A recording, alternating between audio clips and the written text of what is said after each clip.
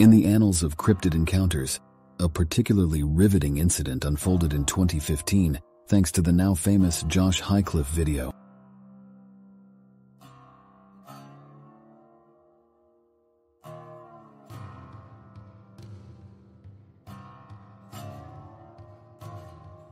What starts as an unassuming forest scene soon takes a chilling turn, captured through the lens of Highcliff's camera.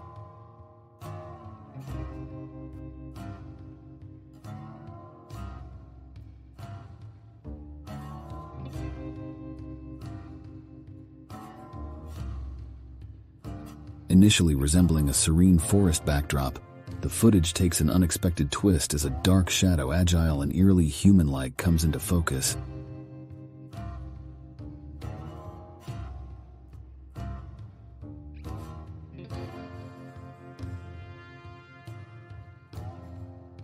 The camera, initially wobbling in its attempt to capture a steady shot, reveals a large bipedal creature covered in fur so dark it borders on obsidian.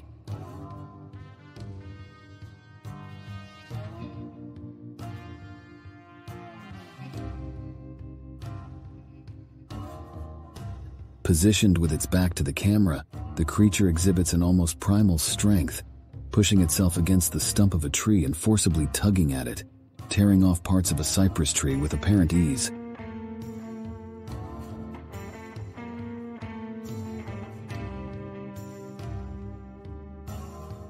It's a mesmerizing yet unsettling sight, the creature seemingly immersed in a forceful interaction with the natural surroundings.